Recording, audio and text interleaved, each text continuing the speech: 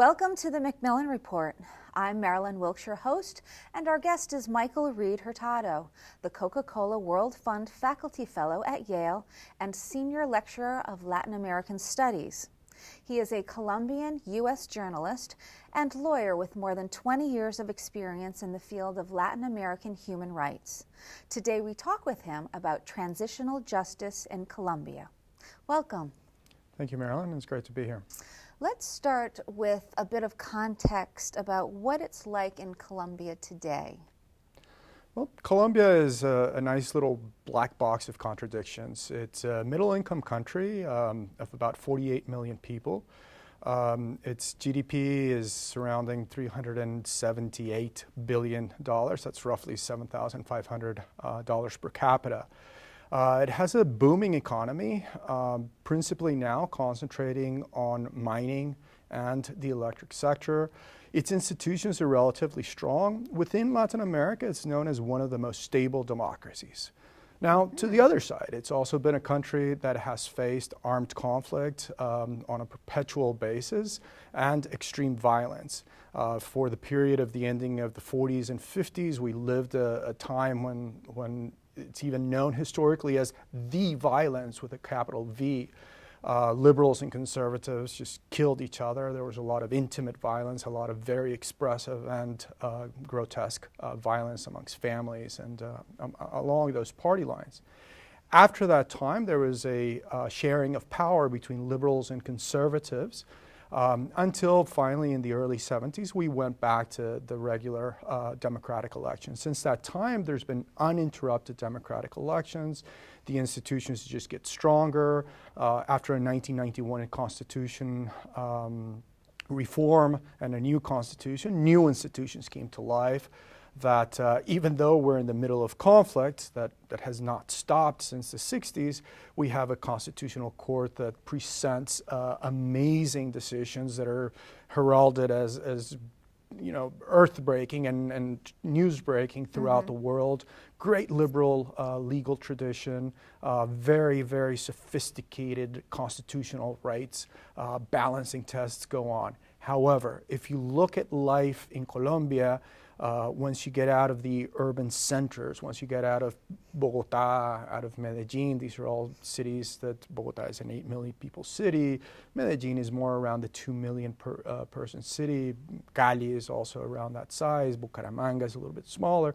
We're, we're full of these middle sized cities or large mm-hmm. cities. But once you get out of that, you get to rural Colombia, and that's where the conflict really, really hits. Uh, polarization of society is, is intense. Um, everybody's suspected of being an enemy, and violence is also incredible. Uh, with those 48 million people, we can say that there's about 6 million people that have been officially recognized as victims of the conflict. So, as you can tell, it's a, it's a great contradiction.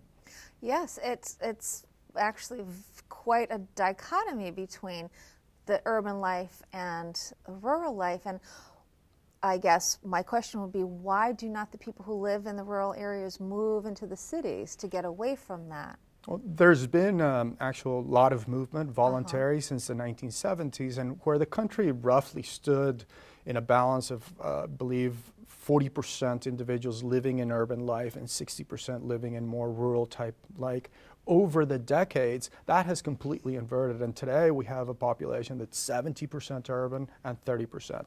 Now, that has not all been voluntary migration. In fact, that period of the violence and afterwards the, the ongoing conflict, the action by both illegal armed actors as well as uh, the armed forces have led to a lot of forced displacement. Mm-hmm. Though there's a lot of um, contestation as to the exact numbers, we are in the millions of persons that have migrated as a result of forced reasons from rural mm-hmm. Colombia to urban life. Now, urban life isn't um, that quiet either. Mm-hmm. You can we, we, we, have cities that are very much segregated and set up along geographic barriers. So there's a certain part of Bogota uh, that is crossed sort of in, in the north part of, of the center.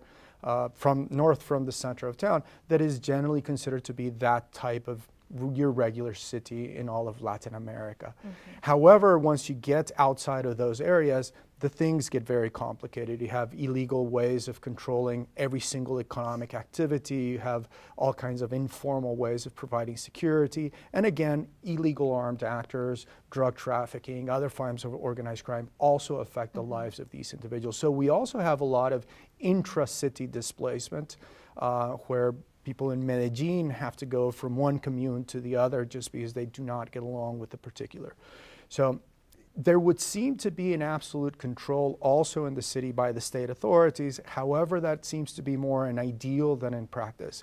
Um, unfortunately, the situation in the cities isn't that uh, great either. Mm-hmm. Uh, our standards of poverty as well there's been a lot of debates of the changing numbers, but roughly we can say that there's 30% of the people that are affected by poverty.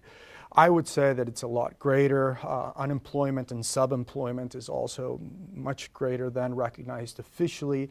And people are just doing their daily their, their day in order to survive, just to make ends meet on a daily basis. Um, and it's about survival, and it's about survival in a very vicious, very violent, and very much led by enemy often. Mm-hmm. Again, that's the contradiction of Colombia. We have laws for everything. We have, mm-hmm. you know, a debate on the new police code. Then we have a debate on a law that resolves the problems of those people that have been forcibly displaced. At the same time, you have a law that tries to regulate all of urban action and all of urban life. But law just stays in the books. Law and uh-huh. practice really doesn't have that great of an effect. So, why has the violence been going on for so long, and who is in control today of Colombia? So the control undoubtedly is one of the states throughout the nation. However, there are pay, pay, pay, there are places where that sovereignty uh, gets affected, and where in fact armed groups such as the guerrilla groups, whether it's the Fuerzas Armadas Revolucionarias de Colombia, that's the armed forces, the, the Revolutionary Armed Forces of Colombia, known as the FARC, or the ELN do hold a lot of territory. So that's one dimension. And there, there's a discussion of the root causes of the conflict versus uh, other types of, of greed or grievances that, that might be present. There is another element of the conflict that, though it does not explain its initiation and, and this source of violence, it does explain its perpetuation. And that is the thriving illegal bonanzas and economic bonanzas, principally around illicit crops, particularly related to coca and all that relates to narco trafficking. That has been something that has been present in Colombia since the 80s, separated from the armed conflict, but very quickly weaving into the armed conflict, making it to be very, very stable. I think the other reason why the armed conflict has gone on for so long is that the economy has stabilized uh, around that conflict. So one would expect that since there's a conflict, the economy is doing bad. However, the economy is not doing that bad. It continues to grow regularly. Growth rates, again, depending on who you look, are between 3.5 to 5 percent per year. That's not bad in a country that's facing uh, that type of conflict. And I think the other reason why it's perpetuated so much is because you can basically lead your life in Colombia as a middle class or working class citizen like nothing was going on outside. You go to work, you come back, you go to the malls, you go to the movies, you have your experience around the TV, you suffer you know, endless hours of traffic in, in these cities, mm-hmm. but it's the normal urban life. You can ignore what is happening, you can ignore the atrocity. There's an absolute separation and denial with the atrocity that goes on on a daily basis in Colombia as a result of the conflict. Okay, so how does transitional justice fit in to this situation? Um, first, let's talk about what transitional justice is and then what it actually will mean for Colombia. Well, the, the reason why transitional justice is being discussed currently in Colombia is principally because we're in a context of a peace negotiation. And that has been a situation that we haven't seen in quite a long time. Especially, we've never been at a point um, as we are now of really seeing peace negotiations between the insurgents and the government advance as much as they have been. Mm-hmm. So, transitional justice has come into play. Now, let's discuss what transitional justice is. Transitional justice is basically shorthand. And it's an unfortunate shorthand, but it's just caught on. Everybody talks about transitional justice without really knowing what it is. And it is shorthand for a series of processes and measures that promote the rule of law and justice in times of transition. Now, that's a mouthful. It's a lot easier to talk about transitional justice. Transitional justice is really not a type of justice, it's more a a, a catchphrase that describes what took place in the 80s, principally in the context of Latin America and the transitions from authoritarianism to democracies, or in Eastern Europe as they were also transitioning out of the communist regime. In both of these places, societies very much pushed for truth, justice, and reparations as a way of dealing with the legacy of violations as a way of promoting accountability, as a way of promoting justice, but also as a way of looking to the future, of making sure that you were able to turn the page. Now, in both of those contexts, in as much as you have a very clear successor regime that can look back and say, we want to get rid of the past, the past is bad, all these measures that were thought of as transitional justice, such as truth commissions, uh, special prosecutorial initiatives, vetting individuals from public administration, make sense. You're trying to make a clear break from the past in order to get to a more promising future and consolidate this new promise of democracy. Mm-hmm. So that's where transitional justice comes from. That's where the expression comes from.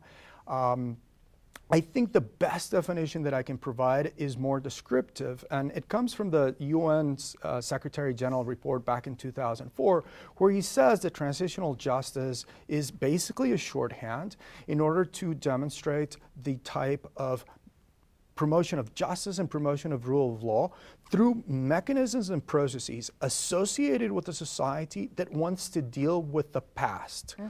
in order to serve justice further accountability and achieve reconciliation.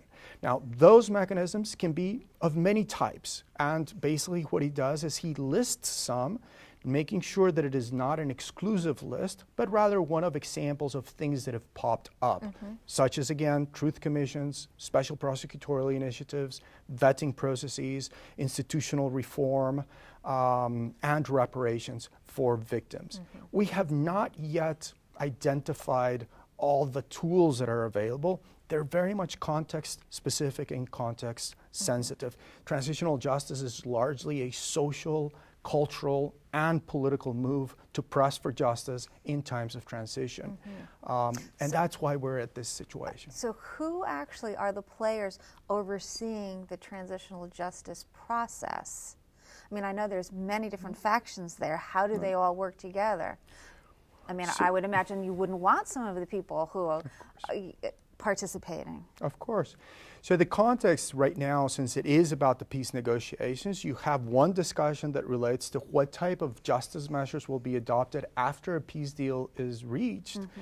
And that presently is a very confidential uh, scenario where both government and guerrilla are discussing about these measures. Now, as you can imagine, both of these actors have a lot to hide. They, in fact, have been part of the atrocity. They are, they are the ones that are responsible for the atrocities perpetrated. And they, of course, want to probably provide mutual impunity for each other. Um, they have been very good at voicing the proper words to the public and saying we're not going to reach agreements that, in, that implicate mutual impunities. We're not going to give each other amnesties. However, uh, in fact, both of them have a huge tendency to try to adopt a highly politicized sense of justice, a, a, type of justice that is devaluated, let's say a softer, light justice, to get on with, um, with the future mm-hmm. and ignore the past. Now, the other sectors that come in and that have been very prevalent in Colombia for a very long time are grassroots movements, victims groups, and mm-hmm. human rights organizations. And these organizations for decades have been demanding truth, justice, and reparations. As a human rights movement, it concentrated principally around uh, state actors, basically all the repression that took place by the military and by the police throughout the 70s, throughout the 80s, throughout the 90s, and throughout the armed conflict. Um, maybe towards the end of the 90s and, and the first decades of, of, of this century, we do start seeing victims of the guerrilla um, arise and also demand truth, justice, and reparations. I think principally linked to the issue of kidnapping. The guerrilla uh, did have a policy and a practice of kidnapping certain individuals. Um, even if they say it's not a policy, without a doubt, there was systematic use of kidnapping and eventual killings by these guerrillas. So that group of victims is also demanding truth, justice, and reparations. So that's another very different voice.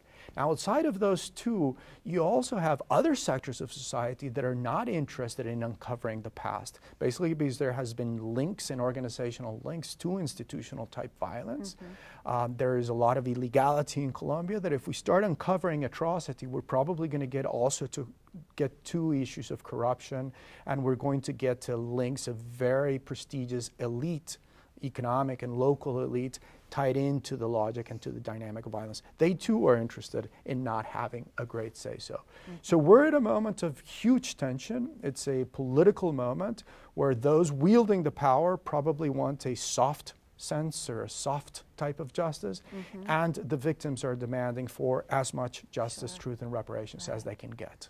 So, how do you think things will play out? I mean, do you think Colombia does have a chance for peace? And, you know, what will that mean in terms of transitional justice, how things play out for Colombia? Hmm. So, I do hope that the negotiation leads to the ending of the conflict. That will be very, very important in as much as it gets rid of this enemy type logic that has polarized Colombia. It will also get rid of the insurgency counterinsurgency paradigm that has led political debates in Colombia for a very long time.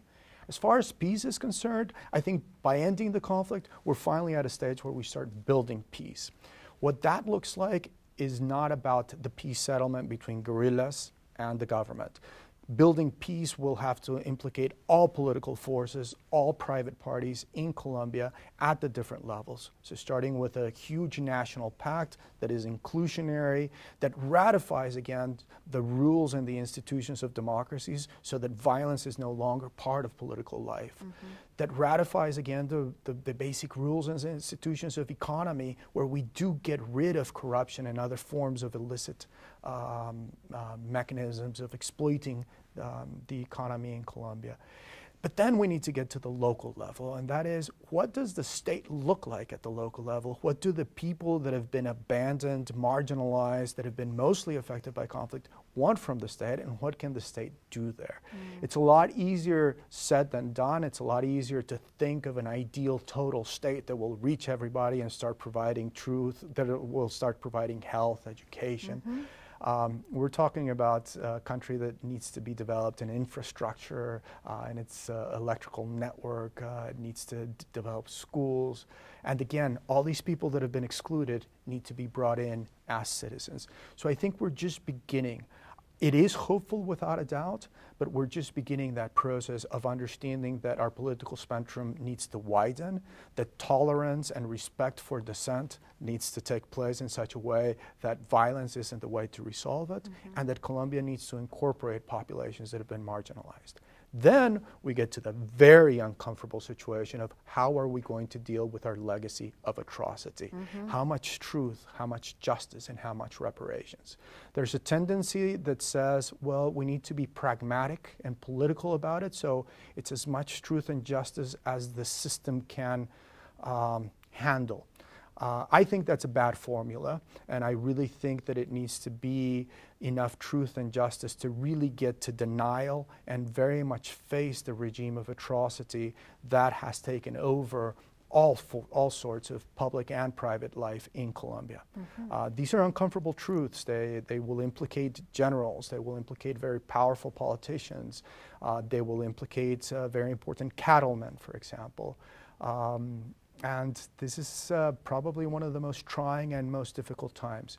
There is still some time to go. Again, we're still at the negotiation phase. There's a lot of spoilers um, that, are, that are taking place. But it does seem that the society as a whole is getting ready for these very big debates mm-hmm. of assuming that strategic decisions, meaning what what do we want Colombia to look like in the future? Is it possible to think of a Colombia after so many decades of mm-hmm. conflict right. without the conflict?